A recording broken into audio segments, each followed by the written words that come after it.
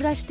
सिद्धांत कार निकलेंगे एग्जिट एक था राजा एक थी रानी से आई है एक शॉकिंग न्यूज हमने आपको इस शो में आने वाले लीप से किया था रिचार्ज और अब रूमर्स आ रही हैं कि एक था राजा एक थी रानी ने आठ साल के लीप के बाद इस शो से राणा जी और गायत्री यानी सिद्धांत कार्निक और दृष्टि धामी शो से ले सकते हैं एग्जिट हालांकि अभी तक इस न्यूज पर ना तो सिद्धांत और ना ही दृष्टि ने दी है कोई भी कॉन्फर्मेशन